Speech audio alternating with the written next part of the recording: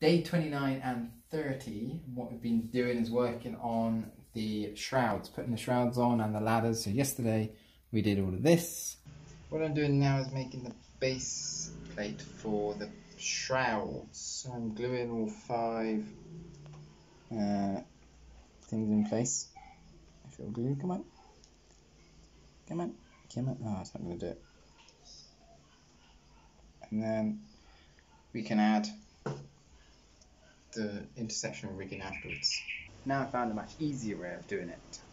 Is make the holes first and then stick it up with a needle. A Bit easier, isn't it? Uh, not much for a day's work, but it is quite time consuming.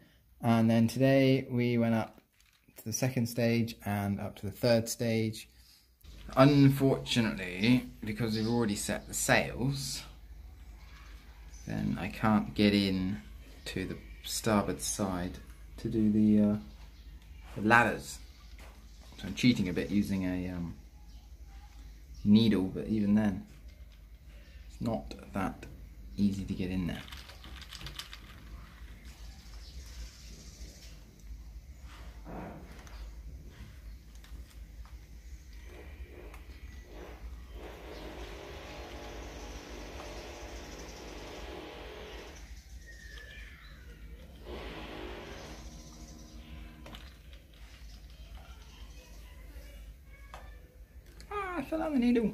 And we've also put all of these in place as well now.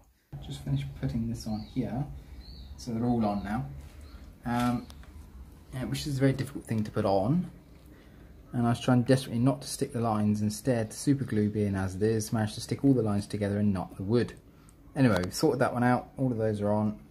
So, tomorrow we've got to do the shrouds on the foremast, the aft mast, and that'll probably take all day. So very slow, lots of detail, but it's starting to look really awesome.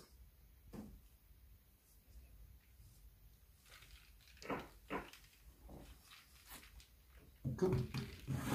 Like it. Okay, what are these things? Right, let's go, let's go, let's go, let's go, let's go.